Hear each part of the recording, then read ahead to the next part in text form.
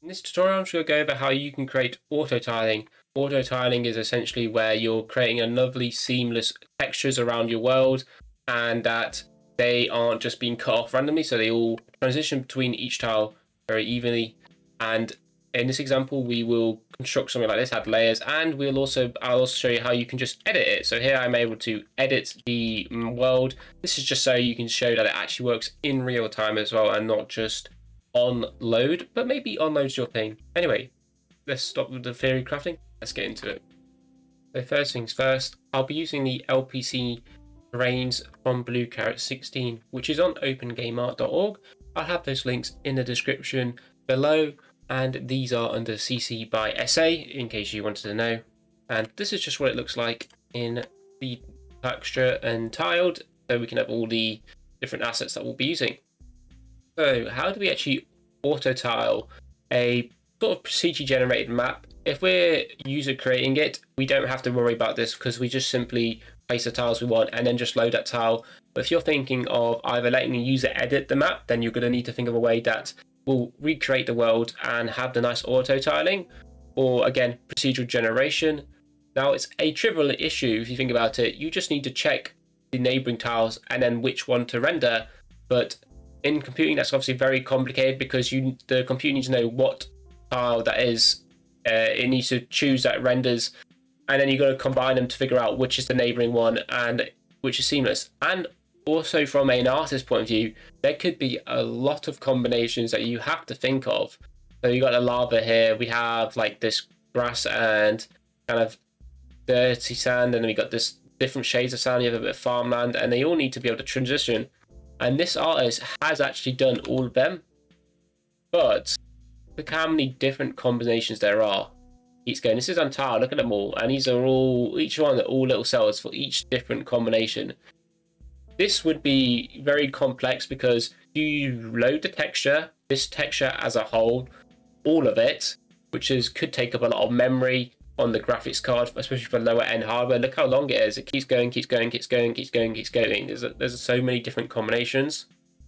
So you have a possible memory issue of of having to load it all in, or do you chunk it, and then getting each different corresponding tile. So if it's a dirt one and it's corner, it's got to render this one, and you've got to figure out where it is in this texture that you've loaded in uh, to render.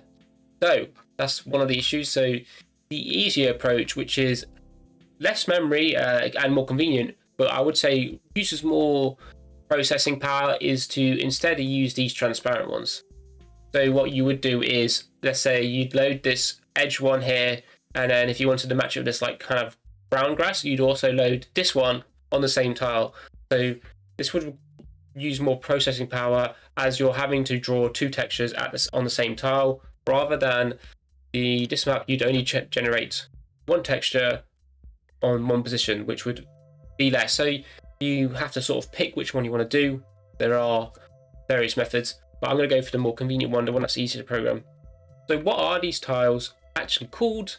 Well, they're referred to as Wang tiles, and it's a really nice way of creating a seamless world without having many, many, many different combinations.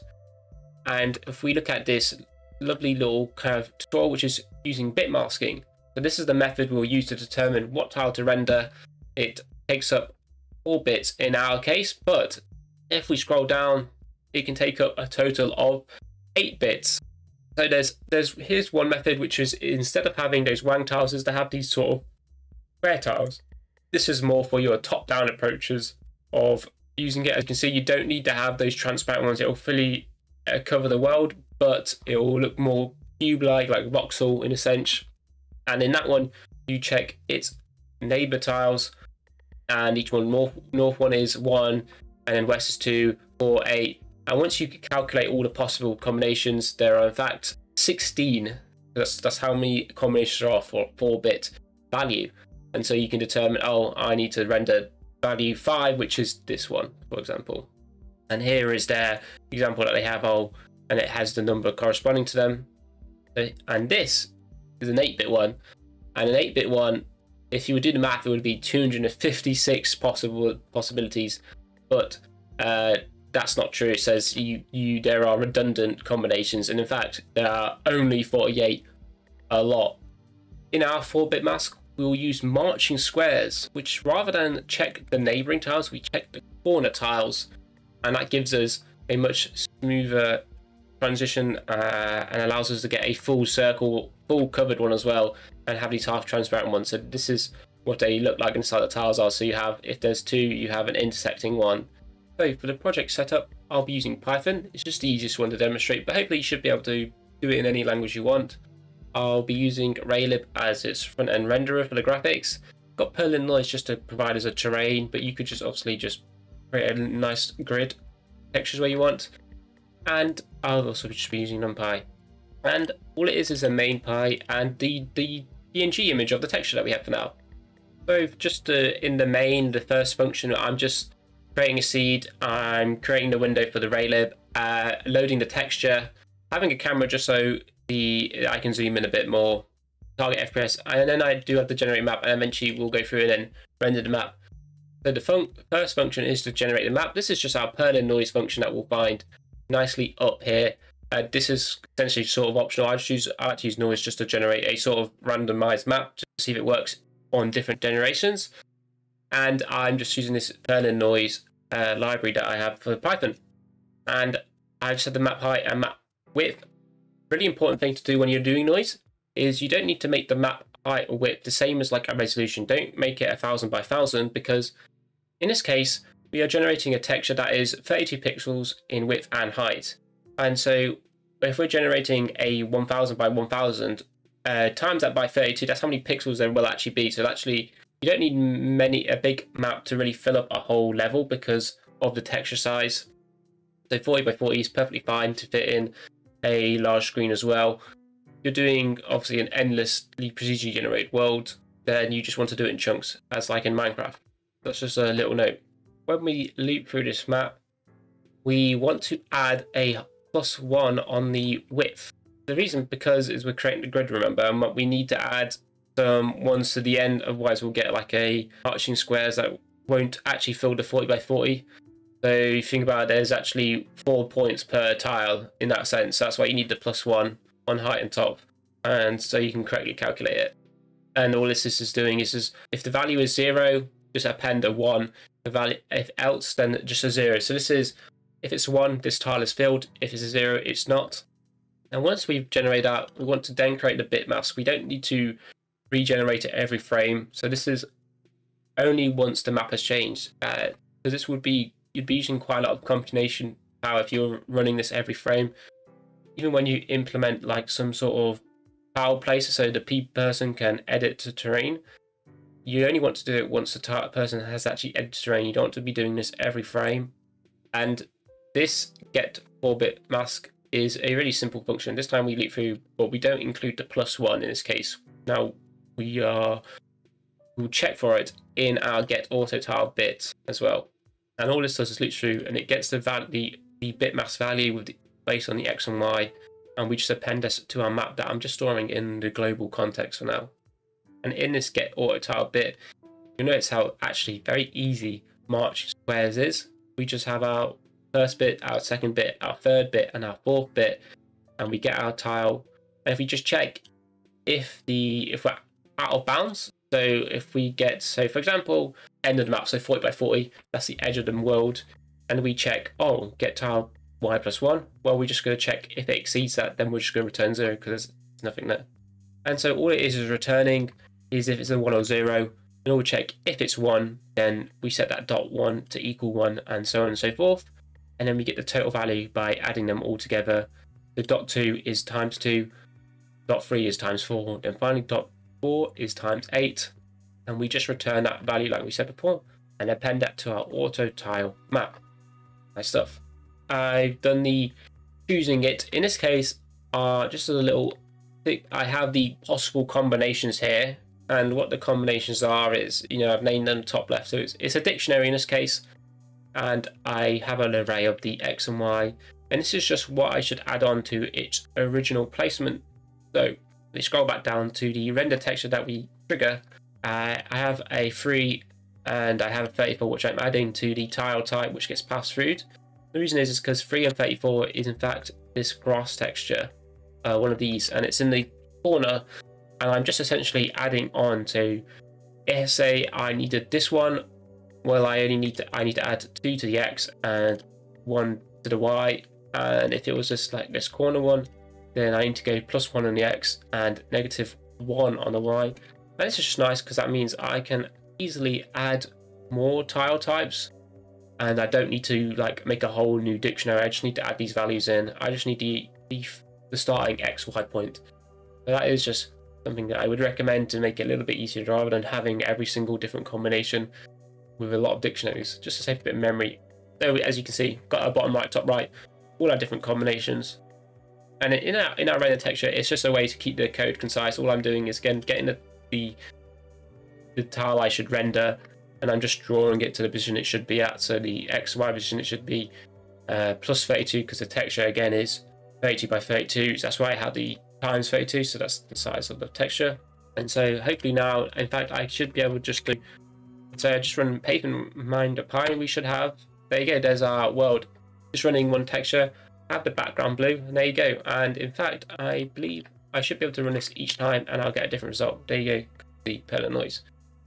And that is really it. That is how you just do auto tiling with at least one texture. Now to do multiple textures, that gets more complicated.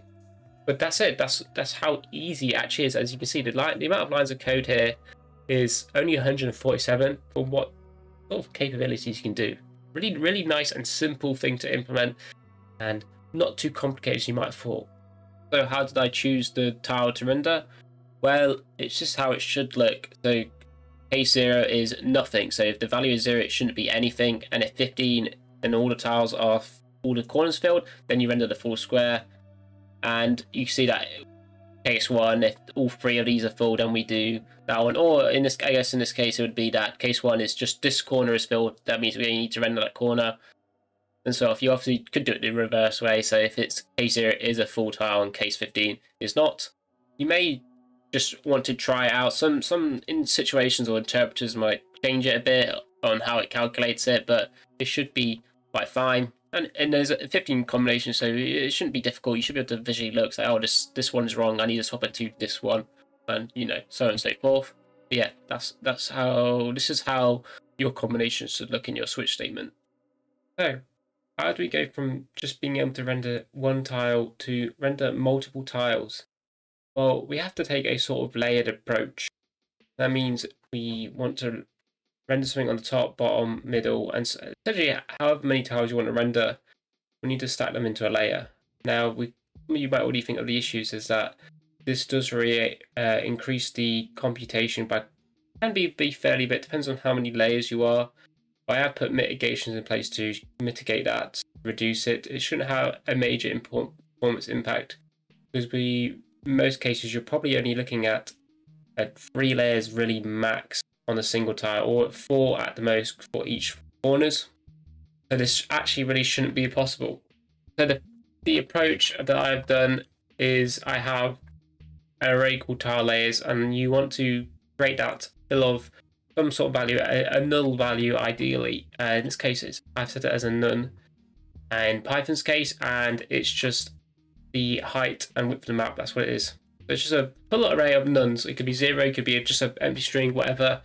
Just something we can check to know if it's empty. And here my tiles I've got so far.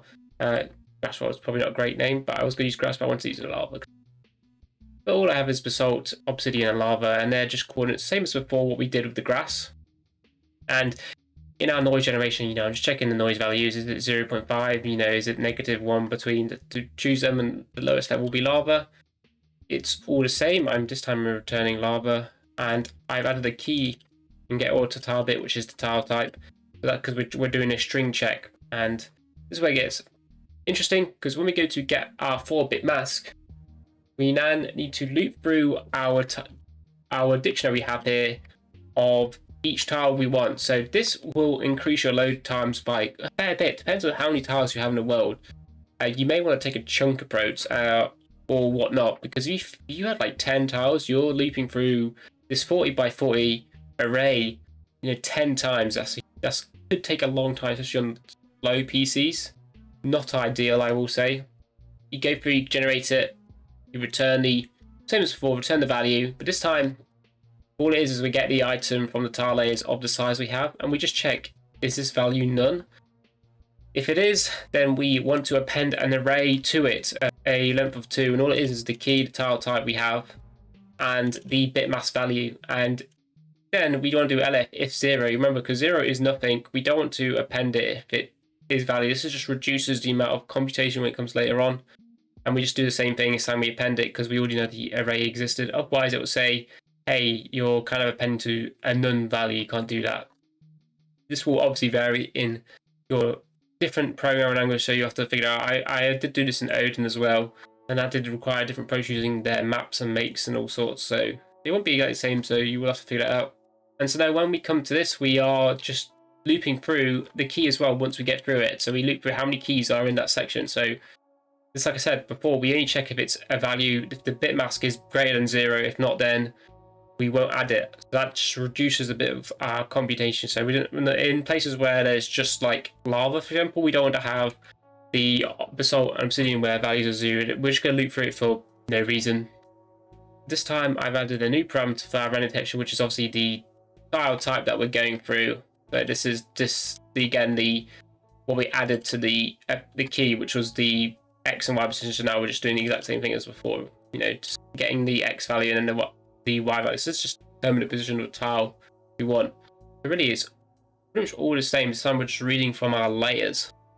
And I also added a nice little place tile. So that means we can just click the tile and as you can see, in order to do that, you want to edit the world map. So this is the original array we have for the grid. And that's important. And then we just rerun the function that creates the bitmap. So you can obviously see the problem if you have many, many different tiles you're going through and you want the, the user to then click and change that tile. That could be a huge detriment to performance of them. So that's something worth checking out. Let's just give it a run to show you what it looks like. Type in main, and here's our world. Look at that. Nice, lovely, seamless world we have. Yeah, and so if I click, we go. I'm able to click and place the basalt. Even if a lava you see, it looks really good. Important thing as well is that you should also, whenever you recreate your bitmask, is to clear the array because this is what happens because obviously currently I'm not clearing the array, so I'm actually adding it onto it. So the for loop, when it runs this line here, line 106, it's going to get exponentially bigger. It's going to completely get bigger and bigger and bigger. So just watch this FPS. It might be difficult to see, but it says 60 and I'll, I click it. Still fine. Oh, we just dropped down to now 50 FPS, adding two tiles. Drop down to 30 FPS now after the third click. Four, done 30 after just four. Dropping down to 25 now. 20 now, 21. You can see, oh, 15 now, getting very slow. Just after placing a few tiles, and that's because getting very, very large. Now the fix is is very simple. It's just to set is to recreate our array and just create a, a, local variable that makes it and it overwrites it really. And so now when we run it, the the frame rate won't just tank anymore. You can see it remains at a lovely stable 60 no matter how many tiles you change. However, I will point out that there's obviously definitely a better way than to regenerate the whole map when you just edit one tile obviously very easily instead just update its neighboring tiles or a small chunk was probably the best approach rather than the whole map um, this will save a lot of performance time especially on lower end or slower hardware they may see a, a very large frame rate stutter if if it regenerates the map or frame rate dips and so on off forth if the player is constantly editing a very large map and again another ideal ideal situation is don't have a very large map that's loaded and that you're rendering entirely. Only show a small amount that you need. Obviously, you can store a very large map in memory because memory is very affordable these days. And so that's it. That's how you can make beautiful, smooth tiles. Now, the advantage of this approach is that it's very convenient, easy. You don't have to draw every single tile combination there is. Uh, you just need to draw your transparent ones. And so it becomes easier to also program that in by just looping through those tiles and then placing them and then also placing the other corresponding tile underneath it to get that smooth transition. The disadvantage of this though is that you require more processing power as you have to loop through more arrays essentially. And let's say for example you have 10 tiles to go through and then you can add them all them when you come through and regenerating the map if we go again back looking at the code we scroll back here that we are going through the keys. Currently we have three keys so three tiles to render but imagine if you had 10 the world load times will be longer and on the on edit you'd have to look through them all. So really good approach is just to try and chunk them out as well. So in this area and then you loop for those keys just to reduce the load time computation. But this can take way more optimization, but it still offers very cool results and allows dynamics. So if I can match this up with any other terrain because of the transparency, I don't have to draw every single combination there is. It's also very simple to create a, a 4-bit mask. And so I, I really quite like it. If you're not doing any, don't need to let the user edit tile, then it's perfectly fine. The load time is less of a big deal. Tell me what your thoughts. Have you used a different approach? Have you decided to draw all 47 tiles? Or do you just not bother and go for the most performant one, is to not even check for tile, just have them as square grids?